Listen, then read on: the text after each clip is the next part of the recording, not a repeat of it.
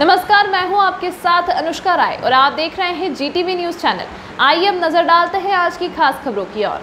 देशी शराब से भरा 10 टायरा ट्रक पलटा। ग्रामीणों की भीड़ 300 शराब की पेटी लूटकर हुए फरार। मौके पर आबकारी विभाग के तीन सीओ घरों और बोंगे बिटोरे में सर्च अभियान चलाकर शराब की पेटियों को बरामद करने में जुटे कई महिलाओं को भी पुलिस ने हिरासत में लिया, बाद में छोड़ा।